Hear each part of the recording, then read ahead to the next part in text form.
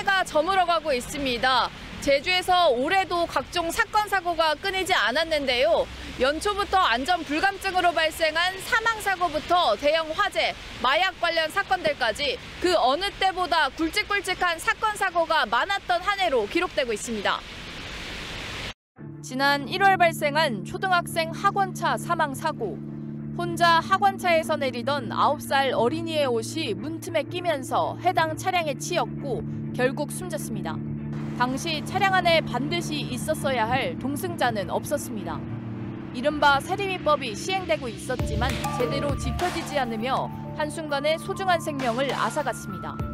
뒤늦게 교육청에서는 동승자 유무 등 어린이 통학버스 전수조사에 나섰고 경찰도 관련 단속을 강화하고 있습니다. 몰라서 못했다라는 얘기는 이제는 더 이상은 통하지 않을 것 같고요. 내 자식, 내 자녀의 안전을 위해서 내가 조금 더 귀찮더라도 조금 더 확실하게 그렇게 한다라는 그런 마음가짐으로 안전불감증으로 인한 사고는 공사 현장에서도 발생했습니다.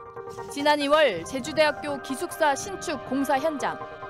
건물 철거 작업 중 굴뚝이 무너지면서 굴삭기 운전자인 50대 남성이 숨졌습니다. 경찰 조사 결과 철거 구조물 파악 등 사전 조사가 미흡했고 안전관리자들도 사고 당시 자리를 비웠던 것으로 확인됐습니다.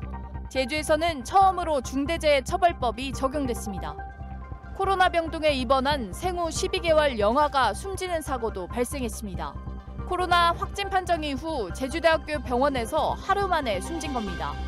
경찰이 병원에 대한 대대적인 압수수색에 나섰고 업무 기록이나 뭐 이제 CCTV 기록이나 뭐 그런 거 전체 다 봐야죠. 당신 그 근무 일지라도 뭐 전체 그 당시 상황을 정확히 확인할 수 있고 그다음 조치 어떻게 되는지 볼 수 있는 다볼 전반적으로 다 볼 예정에 있다. 이렇게.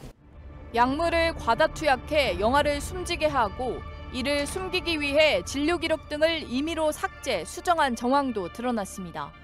결국 사건 발생 7개월 만에 의사와 수간호사 등 의료진 11명이 무더기로 기소돼 현재 재판이 진행되고 있습니다. 올여름 대형 어선 화재도 잇따랐습니다. 서귀포시 성산항에서는 선주로부터 빗독촉을 받던 한 50대 선원이 어선에 불을 질러 큰 화재로 이어졌고 곧바로 며칠 뒤에는 제주시 한림항에 정박된 어선에서 불이 나 3명이 숨졌지만 정확한 원인은 밝혀지지 못했습니다. 이로 인한 피해 규모만 40억 원을 넘는 것으로 집계됐습니다. 해외에서 발송된 의문의 우편물, 우편물을 받은 주민이 탄저균으로 의심된다며 파출소에 신고하면서 한바탕 소동이 빚어졌습니다. 그런데 소동인 줄만 알았던 우편물에서 마약의 일종인 LSD가 검출됐습니다.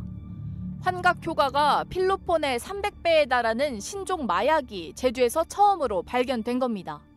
이후에도 길거리에서 마약이 든 가방이 발견되거나 미성년자 성매수 과정에서 함께 마약을 투약한 40대 남성이 경찰에 구속되기도 했습니다.